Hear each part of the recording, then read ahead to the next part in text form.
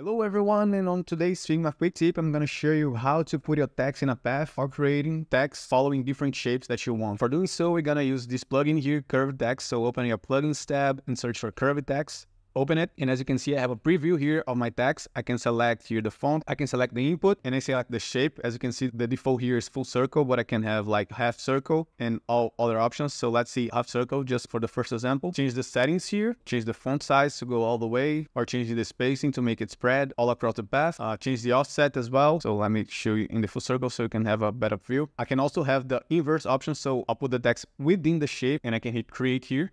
So since Figma doesn't have this as a native feature, what the plugin does is actually putting every character on its own layer. Now let's say I want to put the text following this path here, this curve going all along. What I have to do is come here instead of full circle, hit the customize option and then select my path. And as you can see, I already have these in my preview, the text following the path. It's inverse, but I can change it, change the offset as I showed you, the spacing, the size. And once I'm happy with the way it's looking, I can simply hit create. And if I want to scale, since it's a group and I try to scale, as you can see, it's changing the spacing and not following the ratio. For doing so, I advise you to hit the K key on your keyboard to select scale tool and then now you can resize without losing the ratio and keeping the proportion. So that's it for this Figma quick tip. I really hope it helps you in your future designs. Don't forget to share with the other designer folks. Hit the thumbs up button if you like this video. Comment if you have any questions or suggestions for future videos. And I see you in the next one.